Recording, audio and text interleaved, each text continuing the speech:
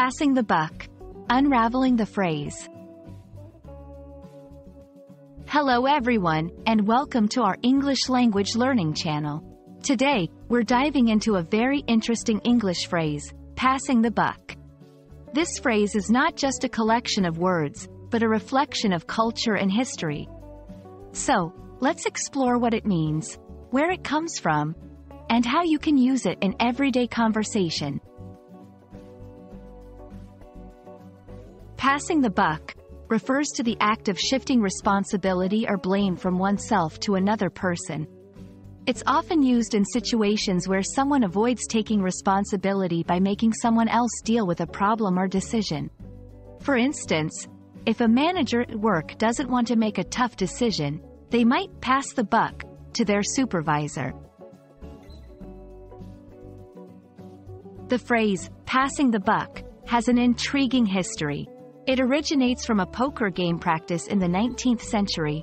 A marker, known as a buck, was used to indicate the person responsible for dealing cards. If a player didn't want to deal, they could pass the buck to the next player. This physical act of passing a marker laid the foundation for the metaphorical meaning we use today. Understanding the phrase is one thing, but using it effectively in conversation is another. Here's how to do it. 1. Context.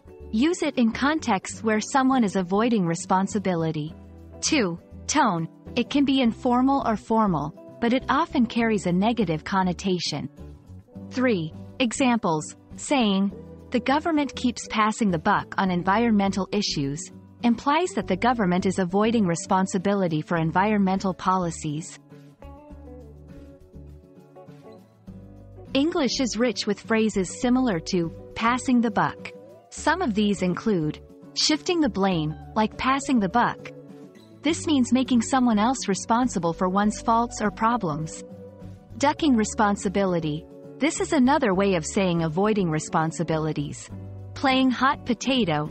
This is a less formal phrase, likening a problem or responsibility to a hot potato that's too hot to hold, so it's tossed to someone else. And that's passing the buck for you. We hope this explanation helps you understand and use this phrase more confidently in your English conversations. Remember, language isn't just about words, but the stories and cultures behind them. Happy learning, and see you in our next video.